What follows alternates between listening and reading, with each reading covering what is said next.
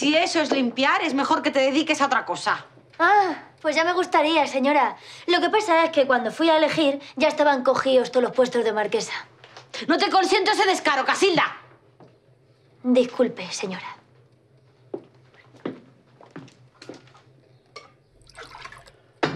¿Y dónde se ha metido mi esposo? Ni idea. Ah, bueno, a primera hora le vi salir del portal con doña Genoveva. Ah, pues espero que esté solucionando el entuerto del banco. Date brío. Date brío. Que no limpio yo bien la plata, lo que hay que oír.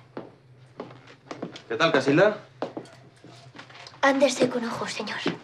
Hoy la señora anda más revirada que un toro abochornado. ¿Se puede saber qué tripa se le ha roto ahora? ¿Eh? A ver qué razones tiene para estar de morros. Tengo muchas razones y de todos los colores.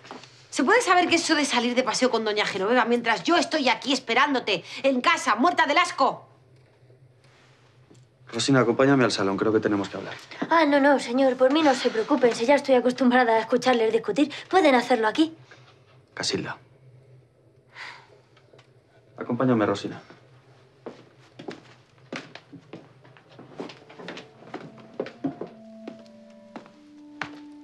¿A qué viene ese tono?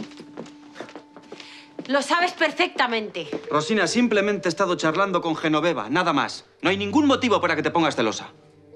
¿Por qué tendría que ponerme celosa de la señora de Bryce? Pues, pues por eso mismo te lo estoy diciendo, Rosina, que simplemente hemos estado hablando de negocios, nada más.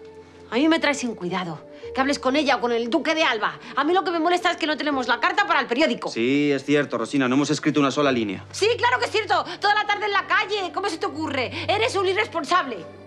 No me puedo creer que me vayas a montar una escena por la puñetera carta. ¿Qué no es una puñetera carta? Está en juego nuestro futuro. Ay, ¿crees que con eso vamos a solucionarlo? Sí, lo tenemos que solucionar. Nos tienen que devolver nuestro dinero, ipso facto. Mira, Rosina, estoy harto de oírte hablar de dinero. Ya está bien. ¿Es que es lo único que te importa? ¿Ahora que lo podemos perder? Sí, sin duda. Pues hay cosas de mucha más enjundia en la vida. Rosina, y te voy a decir algo más. Me estás decepcionando profundamente.